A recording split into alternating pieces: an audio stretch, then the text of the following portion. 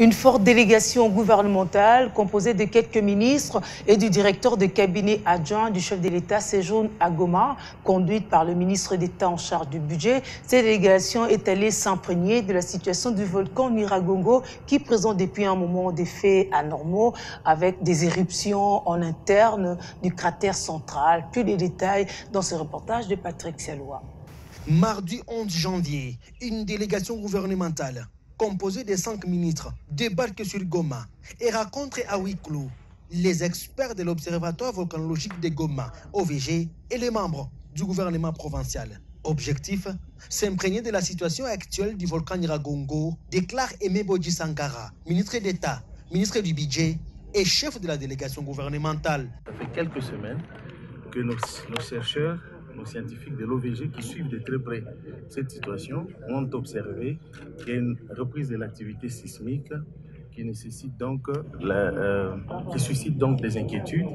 Et c'est pour cela que dans l'esprit de l'anticipation pour éviter que nous nous puissions nous retrouver en train de voler derrière les événements nous sommes venus ici dans une forte délégation des ministres sectoriels. Et donc ensemble nous avons premièrement évalué la situation qui se développe au niveau du volcan pour pouvoir rentrer à Kinshasa, faire rapport au gouvernement et accélérer le processus de l'adoption de l'actualisation la, plutôt du plan de contingence qui devrait nous, nous, équiper pour que, au cas où il y aurait une nouvelle éruption volcanique, nous soyons mieux préparés et mieux outillés pour protéger nos populations. À mon avis, il n'y a pas lieu de s'inquiéter.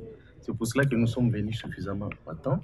Nous continuons à travers l'OVG à faire le suivi et comme d'habitude, s'il y a alerte ou quelque crainte que ce soit, le gouverneur en l'annoncera et nous prendrons les dispositions nécessaires pour encadrer la population. Pour sa part, le ministre de la Recherche scientifique, José Panda Kabangu, appelle la population à protéger les nouveaux matériels de surveillance du volcan Niragongo, dotation du gouvernement congolais à l'Observatoire volcanologique de Goma. Les stations que nous mettons sur terrain, qui nous coûtent trop cher, sont volés par la population. Et là, c'est vous, euh, l'homme de micro, vous devez également sensibiliser la population pour qu'on ne puisse pas voler euh, ces capteurs, des matériels qui coûtent trop cher, dont on a besoin pour pouvoir surveiller le volcan, mais qui sont volés tout le temps. Cette délégation interministérielle qui a visité les nouveaux bâtiments de l'OVG, construits sur financement du gouvernement congolais, est constituée du ministre du Budget, des cellules de l'industrie, Julien Paloukou, de la recherche scientifique, José Panda, Modeste Moutinga des affaires sociales, celui de la santé, ainsi que le directeur de cabinet adjoint du chef de l'État, chargé des questions sociales.